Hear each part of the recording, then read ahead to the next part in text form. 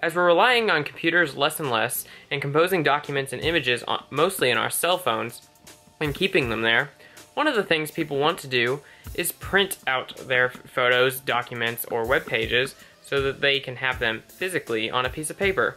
This was very easy on a computer, and it's also quite easy on here, but if you don't know how, that's what I'll show you today.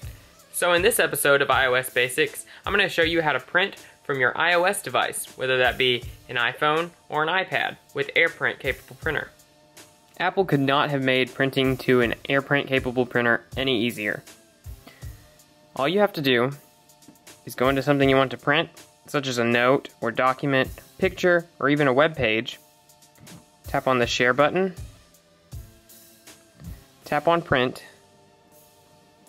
Select your printer.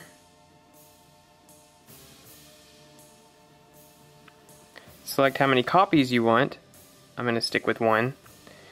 If it is a web page or picture, you can turn on black and white just to print black and white.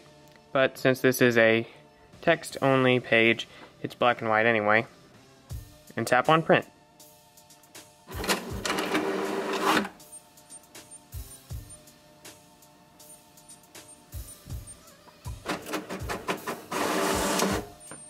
And there you go. There's your printed page. This works just as well with a web page or picture. So let's go to Safari and I'll go to The Verge. Once the page has completely loaded, I'm going to close this. Okay, advertisement up at the top. Tap the share button and tap on print, which may or may not uh, require you to scroll over on this bottom bar here in the share menu. Make sure the correct printer is selected. Select whether you want it in color or black and white.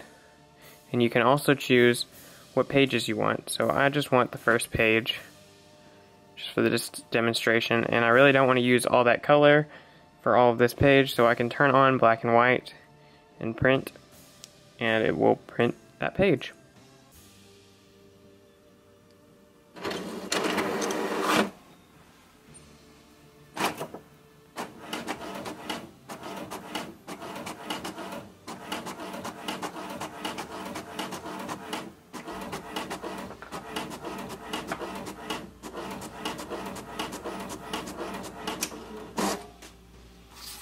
There you go. There's the Verge's mobile site in black and white on a piece of paper. And that's how you print on an AirPrint capable printer.